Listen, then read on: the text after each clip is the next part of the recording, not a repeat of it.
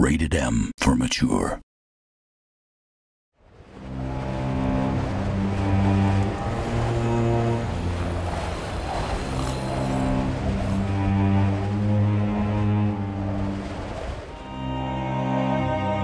How did we get here?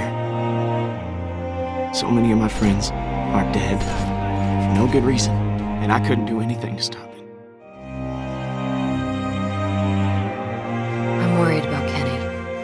You're the only one that he trusts. That means you're the one that's gonna have to pull him back. I'll do my best. You shouldn't have to do stuff like this. Shouldn't have to do a lot of things.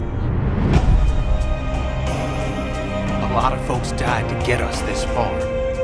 We owe it to them to see this done. We can still make this work. All I'm saying is, start thinking about what happens if you're wrong.